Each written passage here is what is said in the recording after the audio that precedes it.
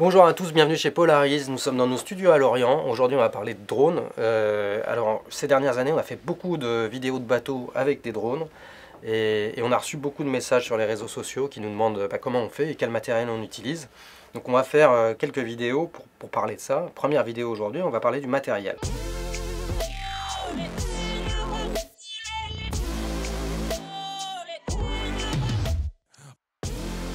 Chez Polaris, on travaille avec euh, la marque DJI, la série Phantom 4, la série Mavic Pro et la série Inspire 2. Donc on a volé avec ces trois drones-là. Petit aparté, avant d'investir dans du matériel, c'est une bonne idée d'aller jeter un petit coup d'œil sur le site Géoportal qui vous indiquera les endroits où vous avez le droit de voler et les endroits où vous n'avez pas le droit de voler. Et vous verrez que, euh, par exemple, si vous souhaitez voler en Bretagne Sud, même au-dessus de l'eau, il n'y a pas beaucoup d'endroits où c'est possible.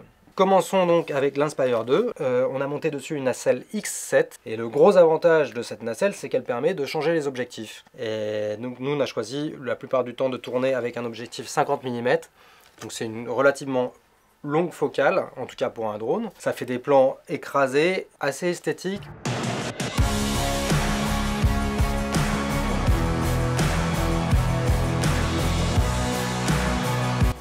Ça fait des vidéos qui sont difficiles à faire parce que qui dit longue focale dit angle de prise de vue très serré. Et, puis autre problème, euh, je me suis rendu compte euh, en utilisant ce drone sur des bateaux rapides, des multicoques, que l'autonomie était euh, très très réduite. C'est-à-dire qu'en allant à fond pendant 10 minutes, eh ben, on a 10 minutes d'autonomie et pas plus. Donc difficulté de la prise de vue en soi liée à la longue focale que j'utilise. Euh, autonomie réduite à 10 minutes, ça fait des sessions compliquées. Alors quand ça marche, ça fait des trucs très jolis. Par contre, euh, bah, il faut multiplier les vols pour réussir à avoir, euh, beaucoup de plans. Le Phantom 4, alors celui-ci c'est un, Phantom 4 Advanced.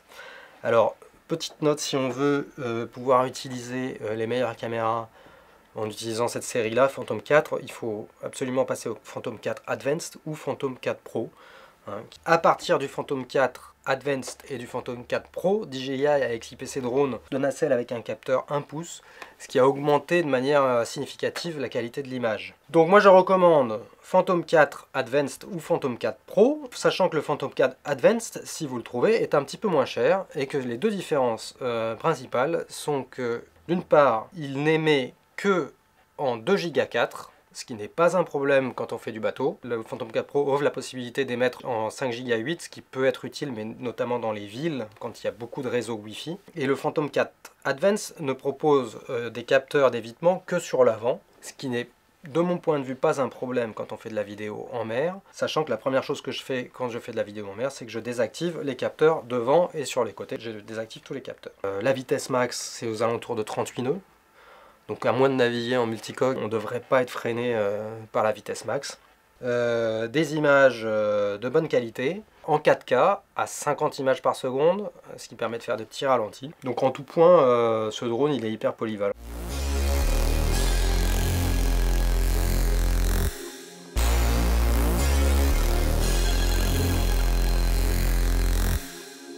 Le Mavic Pro 2 alors le Mavic Pro 2, il a un truc qui est absolument génial, c'est qu'il est tout petit.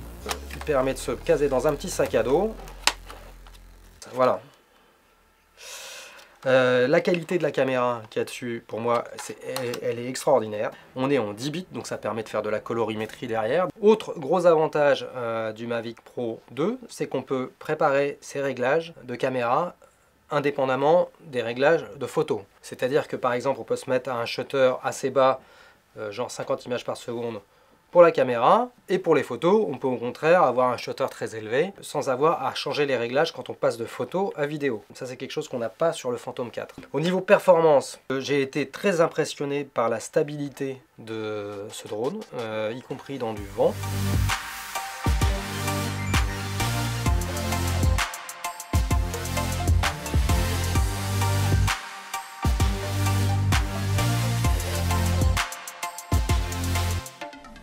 On a volé avec le Mavic Pro premier du nom pendant la Volvo avec plus de 35 nœuds de vent dans le Pacifique Sud et on n'avait pas de problème de stabilité.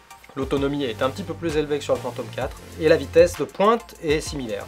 Deux inconvénients quand même de ce drone là, c'est la difficulté de pouvoir l'attraper, il n'y a pas de pied comme sur le Phantom 4 Pro. Donc ce que j'ai fait, c'est que j'ai commandé une petite pièce sur internet, hein, c'est quelqu'un qui imprime ça en 3D, et je vais dessus y attacher une poignée prévue à l'origine pour des GoPro. Ça permet de tenir comme ça euh, le Mavic au décollage et à l'atterrissage. Et donc moi je vole euh, régulièrement comme ça, avec ça, ça perturbe absolument pas le vol et ça permet surtout de décoller et d'atterrir euh, avec des éléments de sécurité pour ses mains relatifs, tout à fait acceptables. Voilà pour mon expérience sur ces trois drones de la marque DJI. ma préférence va au Mavic 2 Pro. Euh, pour sa qualité d'image et pour sa compacité, euh, tout en gardant euh, des performances excellentes. Le Phantom 4 Pro est, très proche et permet de faire des choses assez jolies aussi. Voilà, dans une prochaine vidéo, on va parler de comment on configure nos drones pour aller voler en mer. A bientôt